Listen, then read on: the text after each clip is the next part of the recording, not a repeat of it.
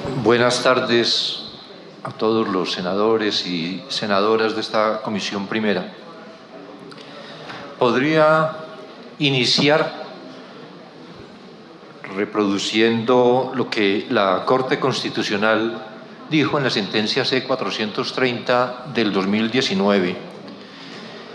Como ya se ha dicho, dice la Corte, por razón de la delicada misión constitucional que cumple la fuerza pública, para lo cual pueden hacer uso de la fuerza y de las armas, el constituyente dispuso que dicha fuerza no es deliberante, que no puede reunirse sino por orden de autoridad legítima, que no puede dirigir peticiones a las autoridades excepto sobre asuntos que se relacionen con el servicio y la moralidad del respectivo cuerpo, que sus miembros, mientras permanezcan en servicio activo, no pueden ejercer la función del sufragio ni intervenir en actividades o debates de partidos o movimientos políticos. El carácter no deliberante de la fuerza pública es una garantía de su neutralidad en el desarrollo de la vida política y democrática de la nación, neutralidad que es especialmente necesaria debido a la facultad del uso de la fuerza y de las armas a que se hizo referencia. Y este es uno de los elementos a considerar respecto de, este, de esta propuesta, de este proyecto, en este momento, en estas condiciones particulares. Creo, como lo han dicho varios de los eh, señores senadores, este es realmente un tema complejo,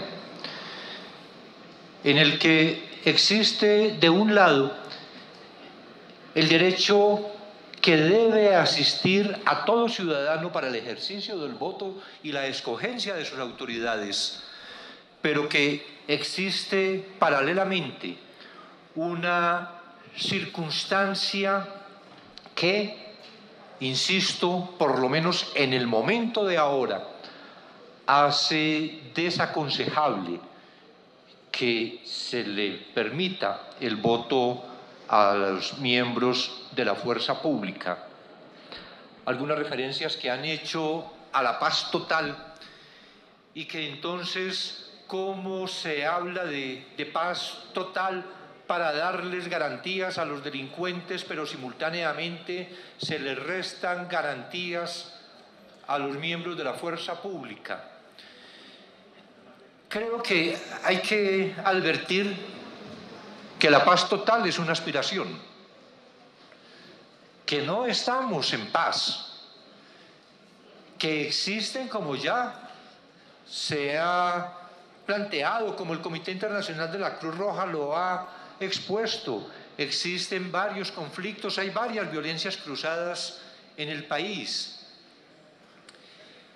que es una aspiración y algo por lo que desde el gobierno y también desde fuerzas políticas que acompañan al gobierno se hará con toda la capacidad lo posible para que esa paz sea alcanzada.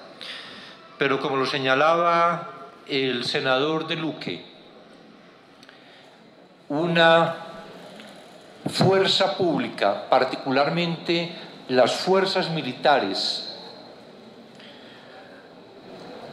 con una, decía él, no hay estructura más disciplinada entre nosotros que las fuerzas militares. con una jerarquía que impone además obediencia en toda la estructura de las fuerzas militares y que, claro, en temas de esta naturaleza no aplicaría la obligación de obediencia, pero no hay duda que la jerarquía tiene un peso muy importante, sustancial en todo el funcionamiento de las fuerzas militares. Y que la intención de voto, porque esto tampoco nadie podrá asegurar que, no obstante, que no puedan hacer proselitismo, que puedan hacer proselitismo es prohibido también y no se plantea nada respecto de ese punto. Nadie podría asegurar que no obstante la prohibición de hacer proselitismo, haya naturalmente dentro de los cuarteles la expresión de afinidad, de complacencia, de cercanía con algún candidato, con algún partido político, que por esa propia estructura jerárquica, por las características muy especiales de la fuerza pública, podrían incidir en todos los subordinados. Y aquí hay una gran diferencia con los ejemplos planteados por el senador Chacón. En cuanto a la rama judicial o a los funcionarios de la Procuraduría General, inclusive de la Fiscalía General, y es precisamente esa estructura jerárquica. Para nosotros, este proyecto, en las circunstancias de hoy, consideramos que no es conveniente, como también lo han dicho algunos senadores. La misión de observación electoral dice, además, es contraproducente que a los militares se les conceda, que a la fuerza pública se les conceda el derecho al voto.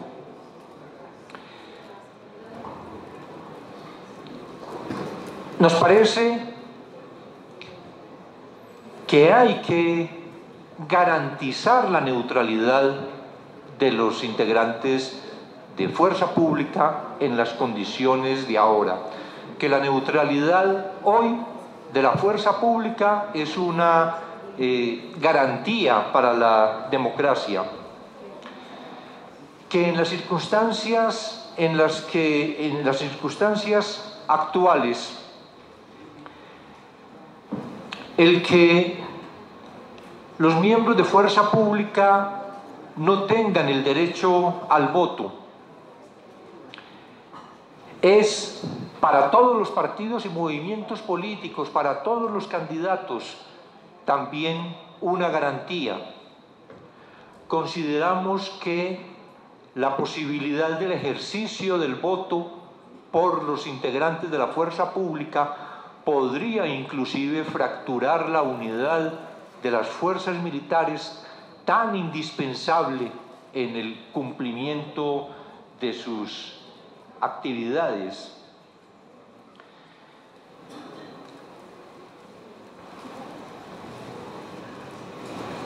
Algunos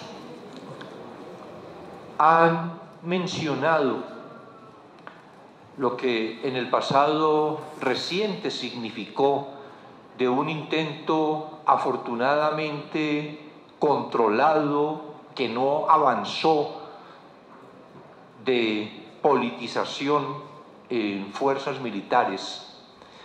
Y muchos entonces afirmaban del peligro que en estas circunstancias representara que los militares pudieran asumir, como alguno de ellos lo hizo, posiciones públicas de claro contenido partidista.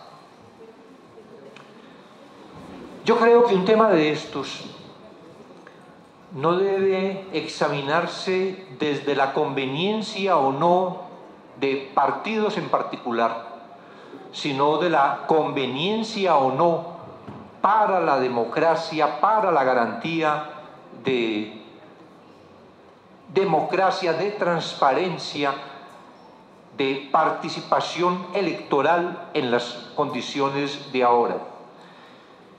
Que una estructura tan jerarquizada como además tiene que ser en las fuerzas militares,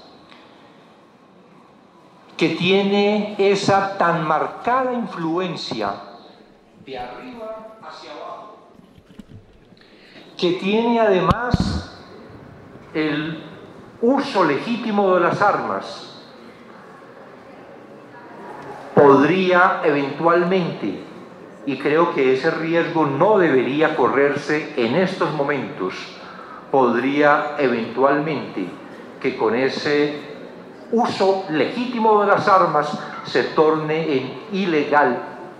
Nadie podría descartar en unas circunstancias particulares, en un momento específico de nuestra historia, que esto pudiera ocurrir. Que también desde fuerzas militares pudieran ejercer presión frente a comunidades para que tomaran una determinada posición política. Nuestra consideración, pues, señor presidente, señores senadores y senadoras, es que en el momento de hoy no es conveniente que se avance con este proyecto, que no es conveniente que a la fuerza pública, a los integrantes de fuerza pública, se les reconozca este derecho, que es necesario avanzar en la consolidación de la democracia, lograr, ojalá pronto, lograr la paz total de la que hablamos con toda convicción y no en la protección de delincuentes, sino en la necesidad de establecer en el país unas condiciones diferentes de convivencia que permitan el desarrollo, el progreso y el fortalecimiento democrático. Yo creo que en un momento posterior, y así como lo afirmaba el senador de la calle, que en su posición este no era un tema de principios, pero sí de conveniencia, de momento, de momento histórico. La posición del gobierno, insisto, es en desacuerdo con que en las circunstancias de ahora se conceda el voto a los integrantes de Fuerza Pública. Gracias, señor presidente, señores senadores. Gracias, señor ministro. Me ha solicitado